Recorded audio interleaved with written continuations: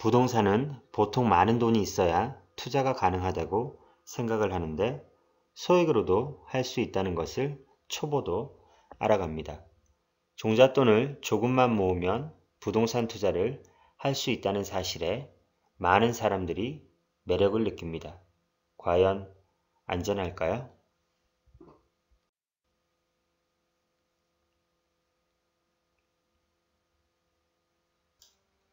부자가 된 사람들은 부동산으로 돈을 벌었다고 하던데 그 부동산 투자를 나도 소액으로 할 수 있다니.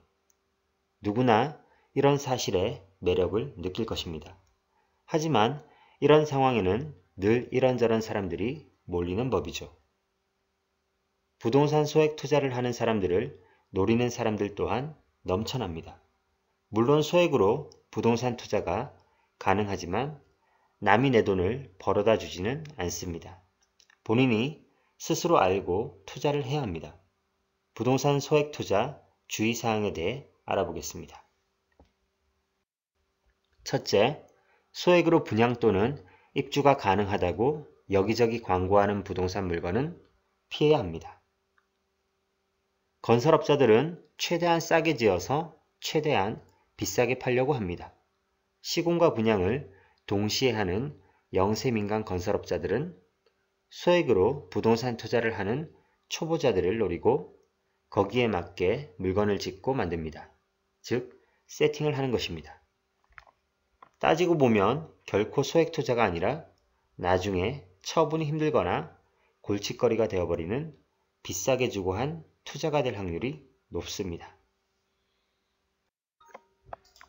둘째, 각자 조금씩 돈을 모아서 큰 부동산에 투자를 해보자는 여러 형태의 공동투자는 위험합니다. 공동투자는 말 그대로 공동으로 하기 때문에 온전히 내 소유가 될 수 없습니다. 그런 곳에 무엇을 믿고 돈을 맡기려고 하시나요? 자본주의 사회에서 누구도 자기를 희생해서 다른 사람에게 돈을 벌어다 주지 않습니다. 실력이 없으면 공동투자의 늪에 빠져버립니다.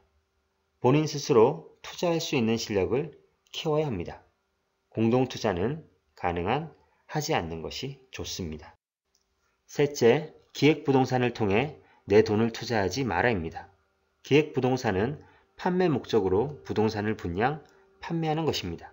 당연히 부동산 장사를 하는 것이므로 비싸게 팔려고 합니다. 속된 말로 호구 하나 잡아서 덤탱이를 씌우기 일수입니다.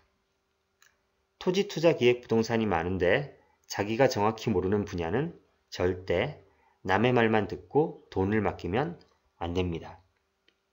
물론 모든 부동산이 그렇지는 않겠지만 그렇게 좋은 투자처가 있으면 본인이나 가족이 하면 될 것을 왜 여러분에게 권할까요?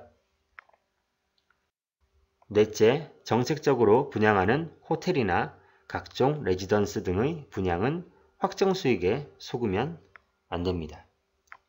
시행사가 준공 후 5년간 매월 70만원씩 연 수익률 10%의 수익금을 지급을 약속하는 지급보증서까지 작성해 주었습니다. 하지만 완공 후 여러 분양 계약자들은 6개월이 지나도 수익금은 한 번도 받지 못했습니다.